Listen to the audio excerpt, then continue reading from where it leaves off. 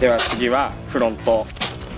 でフロントフロントもノーズでやったんだけどまあバックサイドと本当やり方全く一緒でただ単に逆を向いてるっていう。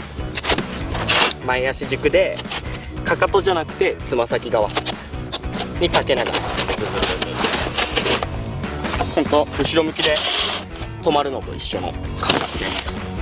でこの時にスライドの時に肩の上からこっちを見ると頭が倒れてます。こういう逆エッジっぽくなるんで、まあ、脇の下から見るようなイメージ。むしろ脇をどかし肩をどかして進行方向がしっかり見えるような形でやると引っかかりにくいです。まああとしっかり前足で踏んで頭を落としてって感じでやるとできます。簡単です。はい。